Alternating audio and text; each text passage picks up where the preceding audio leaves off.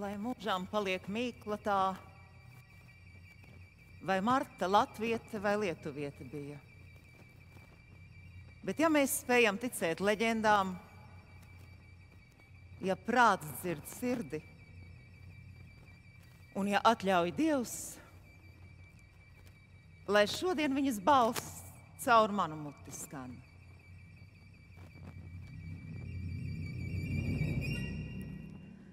Esmu Marta no Madalānu valdnieku dzimtas Letu zemē. Diškuni gaiša lielā Lietuvju zemi gaišā karaļa ilustris Reks, karaļa Mindauga sieva.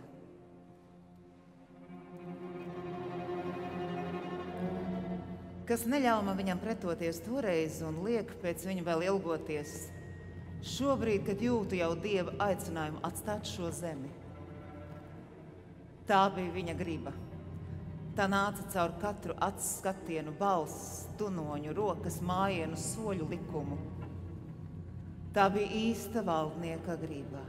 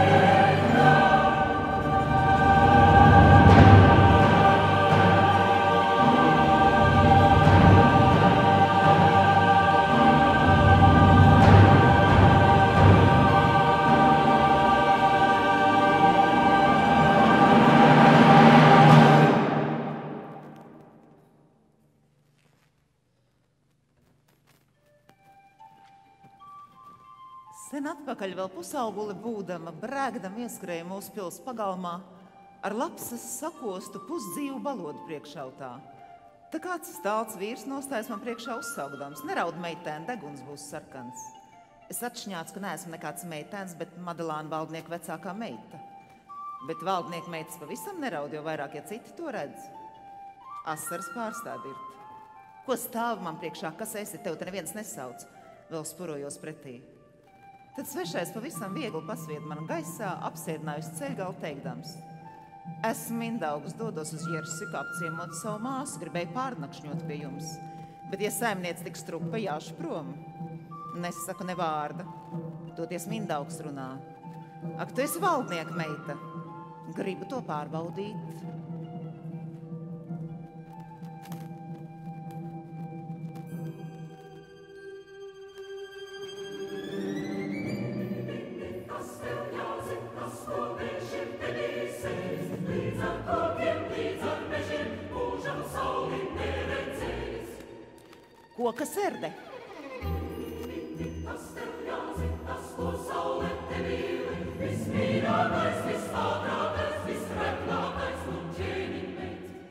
Mans tēvs saka, ka vismīļākā esot dzīvība, visātrākā doma, bet vistreknākā skaidra lieta, ka zeme.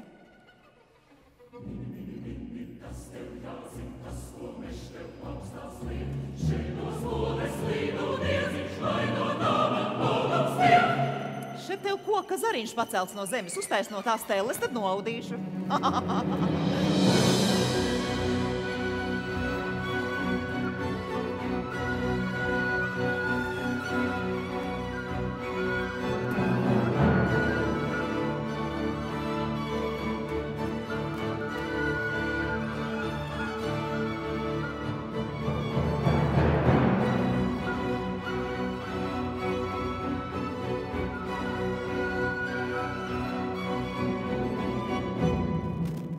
Klau, meitēn, tev galva strādā, Mindaugs smēja.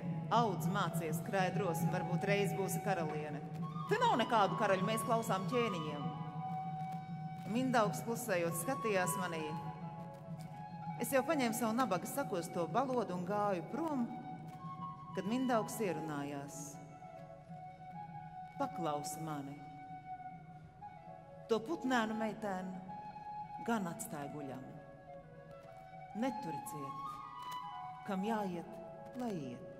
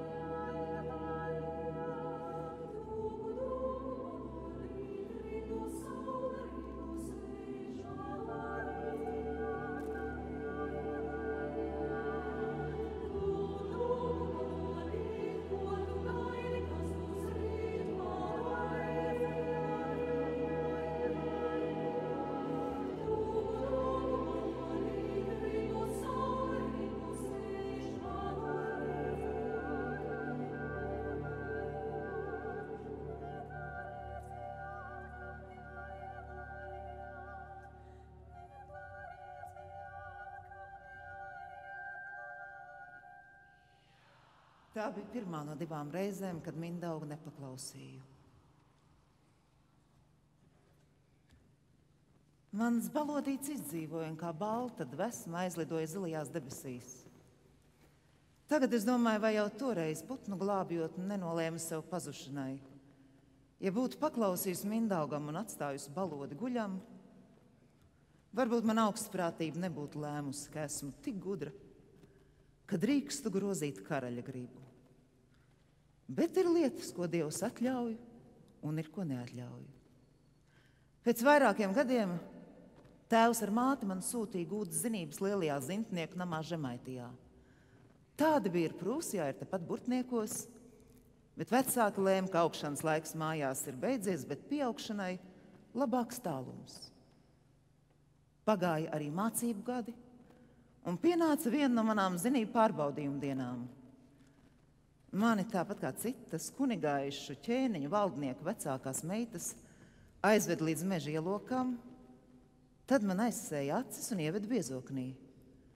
Tur nu vajadzēja tikt galā vienai. Jo šķita, ka savus uzdevumus esmu veikusi, jau meklēju ceļu ārā no biezokņa, bet tad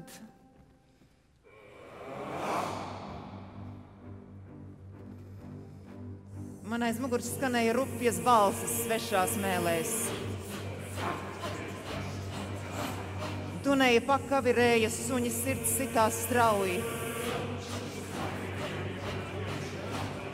Un tad es to ieraudzīju, neredzētās drānās tērtu vīru baru. To sejās sarkanas, ņirgas, melnas domas.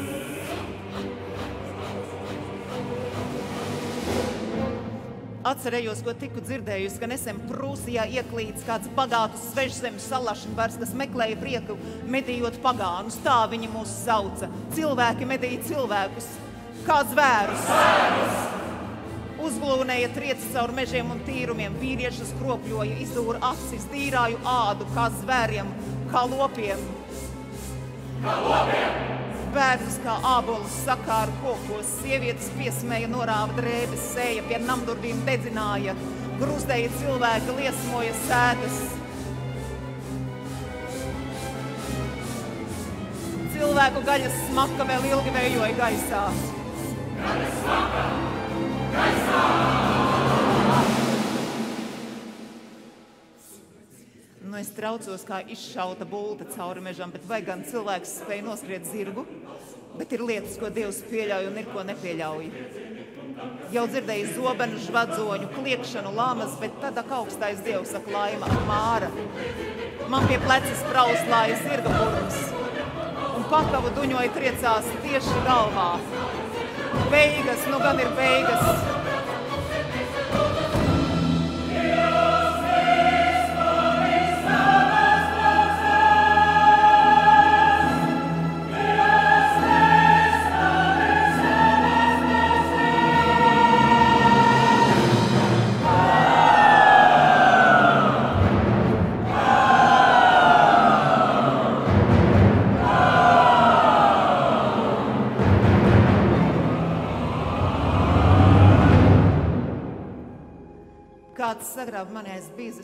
Šķērs uzrauga pāri zirgam.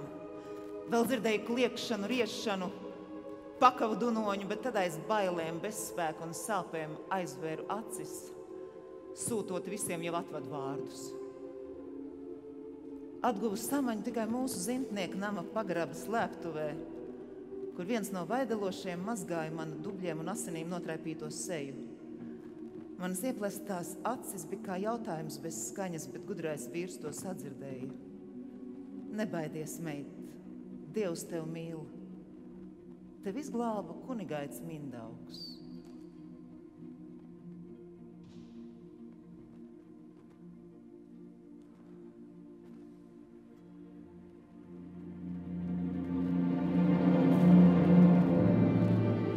Mindaugs Vai tas ir tas pats, kurš kopā ar zemgaļiem uzveica vācus lielajā kaujā?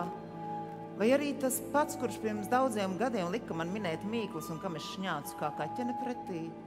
Vai tas ir viens un tas pats? Man ir jāredz.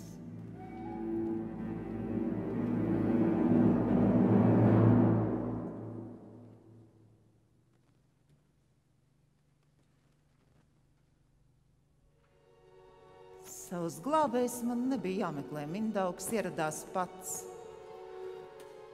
Mūsu zinību nams bija nonācis kā krustcelēs. No vienas puses sapulcējušies moskaļu vīri, no otras rietumu puses bruņās vadzošie karavīri. Mindaugs meklēja attēlu mūsu namā. Viņam vajadzēja ātri izlemt, ar kuras debes puses karotājiem viņa vīriem sabiedrotos lai padzītu tos otrus. Vienalga, kā arī kauliņus nesaliktu. Padzītie būs ienaidnieki, tie otri šī brīža draugi. Kad ieraudzīju kunigaitu, sapratu, labāk būt neredzamai. Mindaugs kā bērns bija pieplacis pie vaidelošu kājām, ar vienu roku ieķēries sev matos, ar otru no visas spēka daudzot pret zemi Šīs dzelzs muskuļi un tērauda gribas vīrs elsoja.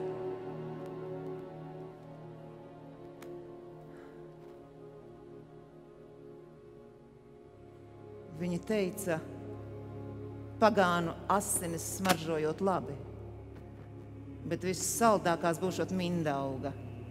Viņa rēca un mēdīja manu vārdu - mendagus, mindagus, mandagus, mendaugus. Šis iedomājies sevi tik varenu, kā pašu dievu tik spēcīgu.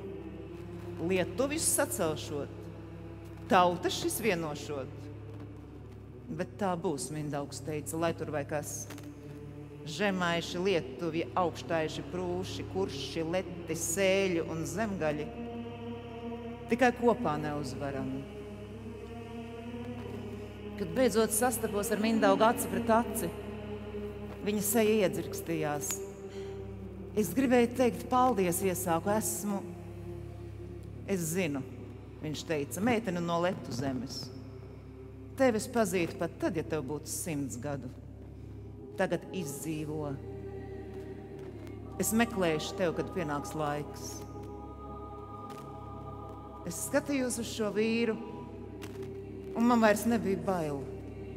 Ne no zobenbrāļiem, ne no cilvēku medniekiem. Nebija bail ne no kā. Mindaugs bija mans liktenis, un es viņai aizsācu.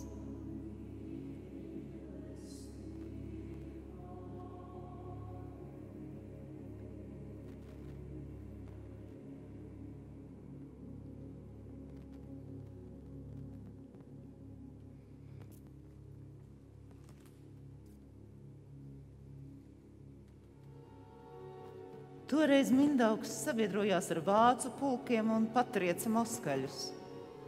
Arī peldot pa straumi var ieturēt savu virzienu, tā viņš teica.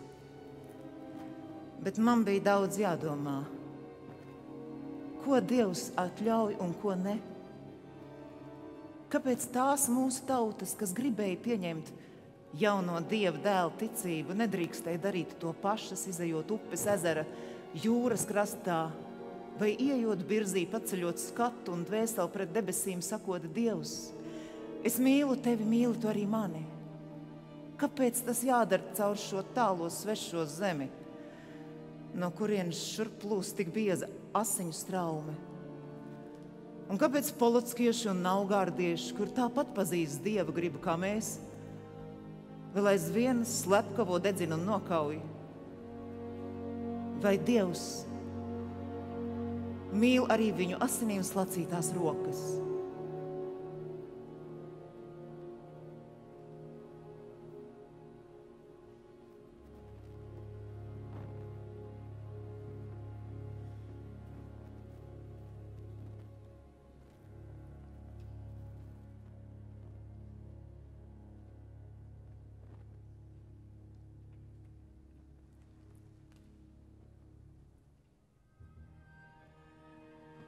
Bet notika, kam bija lemts notikt.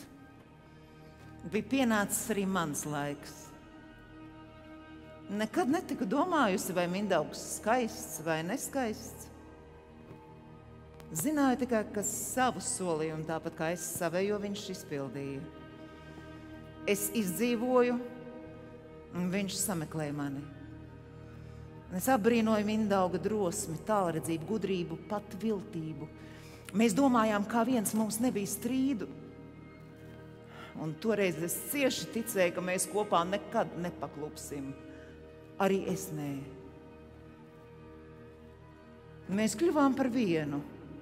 Es Lietuvas diškunigaiša Mindauga sieva, viņš mans vīrs un pavēlnieks.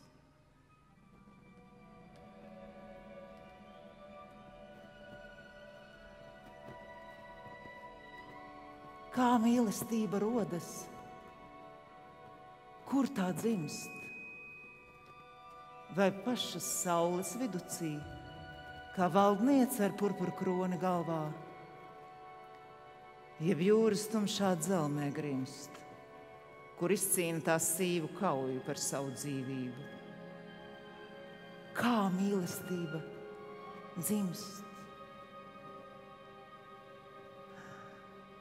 Kā mīlestība beidzas. Vai tā beidzas? Vai sāpes, nodevība, nāve? Tai asins māsas dzimtas piedarīgās. Bet brālis piedod spēks. Viņš iet pirms valdnieces un savās rokās baltu putnu nes.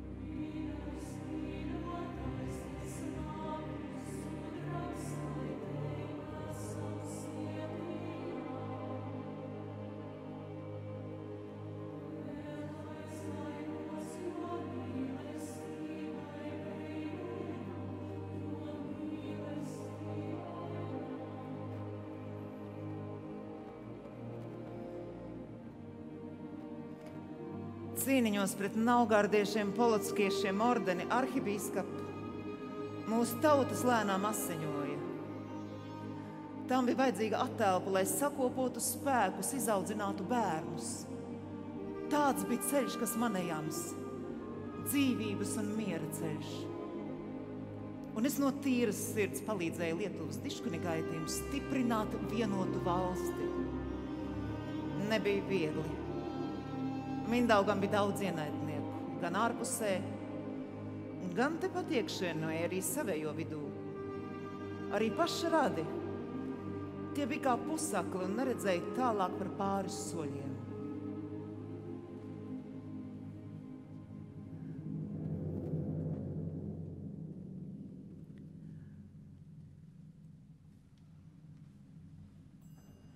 Mēs stāvējām lielas izšķiršanās priekšā. Meklēt draugus austrumos vai rietumpusē. Vai gan var pastāvēt viens šai pasaulē? Vajag sētu ar ļaudīm zemi, ar zemkopiem valstī labus, uzticamus kaimiņus. Citādi nē. Mēs pagriezāmies pret rietumiem, pret Romu patiesību ceļu un iegājām Kristus ticībā, lielajā mīlestībā. Mindaugs prata sadraudzēties ar ordeņu mestru. Andrēs no štīrīs, bet viņš nelūdza, viņš piedāvāja. Jā, liela daļa žemaitīs bija jādod prom, bet zemi jau nevar prom aiznest, tā paliek tepat, kur esam mēs. Un pienāca tā kunga 1253. gada 7. mēneša 6. diena, kad Mindaugs tika kronēts par Lietuvas karali un es par karalieni.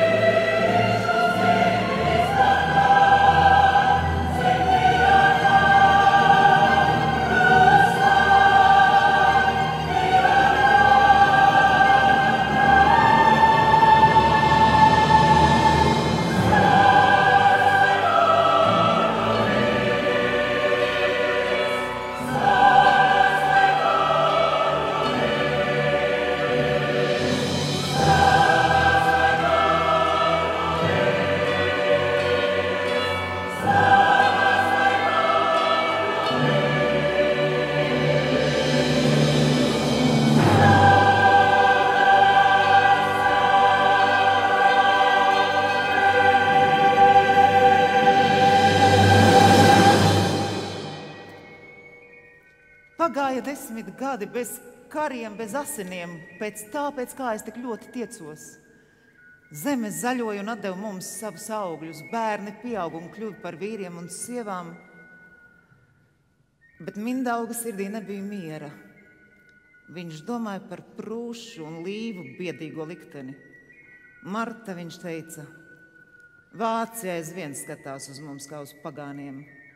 Viņa acīs spīd nicinājums. Bet es teicu, Mindaugu, nedomā par viņiem, domā par savu tautu, nedusmojies. Tad viņa nicinājums izšķīdīs pret tevi kā migla. Aizsūti vāciem dāvanas, kā pateicība par šiem desmit miera gadiem. Bet Mindaugs teica, Marta, nav īstais laiks dāvanām. Jāstiprina karaspēks, jātur acis vaļā. Bet es lūdzos, nē, nedomā par karu, stiprini mieru. Mēs esam bagāti, mums visa kā gana. Lai viņi redz, ka esam stipri un dāsni. Un dāvana jau nav pielabinājums. Tā ir labas sirds griba dalīties. Un tādiem, kuri nav vēl tik redzīgi, lai gara acīm saskatītu sirds dāsnumu, sākumā tiek sniegts rokām taustāms veltes. Mindaugs klusēja. Ak, neskan man tā balss kā tev. Tu valdnieks, man ir jābūt sievietei, kas gaismu dedz un maigumu, un mierā dzemdēs siltumu. Vai pienāks laiks, kad durvis nebūs jāslēdz ciet, kad ļaudis neprasīs par labiem darbiem algu? un mīlestība vadīs ticību, ne zobens Un Mindaugs galu galā man piekrita. Viņš aizsūtīja vāciem dāvanas, ka es biju ieteikusi. Bet notika tā, ka pa ceļam citi vācu brāļi šīs dāvanas nolaupīja. Nu, Mindaugs pulcināja karavīrus, bet es lūdzos, lai nesūta visu karaspēku, bet gan vēstnešus pie ordeņa mestra. Es ticēju, ka viņš palīdzēs atgūt dāvanas un izlīdzināt strīdu, lai tikai nav jākaro. Vārdi, kas aizgūtniem kūliņiem nāca no manas sirds, tie lūdzās, pārliecināja, pierunāja. Un Mindaugs piekrita, viņš aizsūtīja pie ordeņa mestra savus vēstnešus, bet uz mīlestību uzaicinātajiem karaļu sūtņiem tika nocirstas galvas. Prūšu un līvu biedīgais liktenis bija piemeklējis arī Lietuvas zemi, un pie visa tā bija klāta es ar savu padomu. Tu mīkstā sieva, kas lūdzoties grib pielabināties, paliec, kur esi ar savu pussaliekto muguru un izstiepto roku mindaugs kliedza. Es vēl aizvien teicu, ka izlīgums ir iespējams, nekaro, neatsakies no ticības, izlīgsti. Bet mindaugs man vairs nedzirdēja. Visas viņas sāpes, izmisums vērsās pret mani. Viņš negribēja mani ne redzēt, ne dzirdēt, ne elpot ar mani vienu gaisu, ne ēst ar mani no vienas krūzes, ne no rīta, ne vakarā. Un tad Mindaugs pasauca savus dēlus.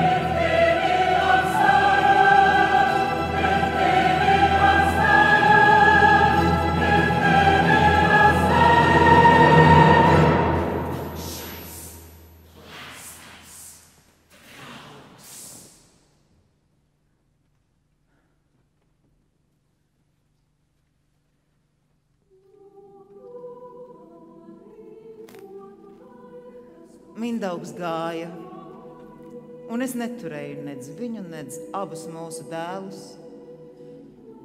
Neteicu arī, ka Dievs lēmis mums vēl vienu bērnu. Es biju gaidībās, bet lai manā vecumā sieviete laimīgi laistu pasaulē stipru, veselu bērnu, jābūt ticībai un dzīvot gribai. Kur man to bija ņemt, ja mans karalis, mans draugs, mans brālis, mans mīļotais, mans vīrs, mans mindaugs bija aizgājis?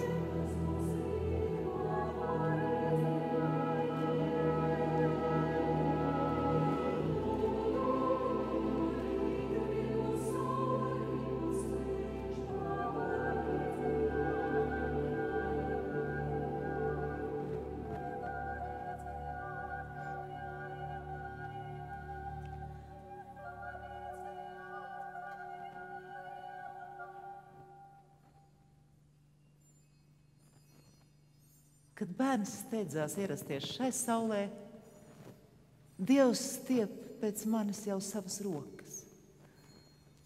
Vēl mana dvēsele steidzās pie Mindauga, vēl lūdza, vēl brīdināja, vēl čukstēja Mindauga. Mindaugu turi acis vaļā, nodevēji ir visapkārt. Tie neteiks mums skauž, tie teiks, mēs zinām, kā vajag. Mindaugi izlīksti ar pāvestu, ar Romu. Neatsakies no ticības, nekaro. Mūsu zemēs nedrīkst cilvēkus medīt. Ne tie, kas nāk no austrumiem, ne tie no rietumiem. Neviens. Pat ja Mindaugs dzirdēja manus saucienus, nebija vairs viņa varā ko mainīt. Ceļš, ko tik platiem, drošiem soļiem bija iemins Lietuvas karalis, viņam un abiem mūsu dēliem pārtrūka aglonā. Vai viņš tur devās, lai bēgtu no vajātajiem vai lai sakopotu spēkus? Bet varbūt tādēļ, lai dēliem parādītu to vietu, kur pirmo reizi saticis savu karalienu Martu no Madalāniem. To es vairs neuzzināju. Jo laižot pasaulē mūsu trešo dēlu, pati bija devusies dievi izstieptās rokās. Bet man vēseli zināja, ka mūsu dēls ir izdzīvojis. Viņš auga starp vienkāršiem ļaudīm. Tā bija drošāk.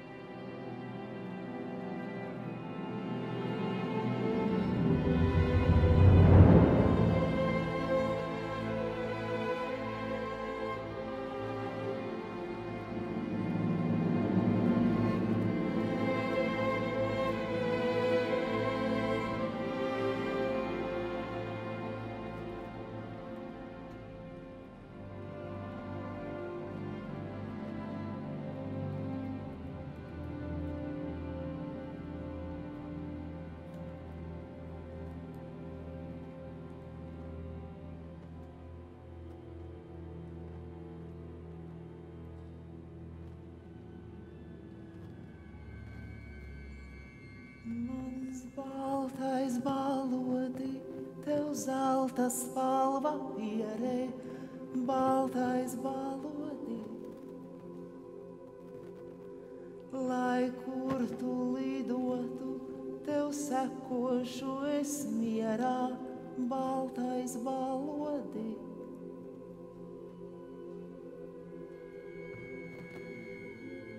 tev savus spārnus klāšu, kā baltus, baltus audeklus.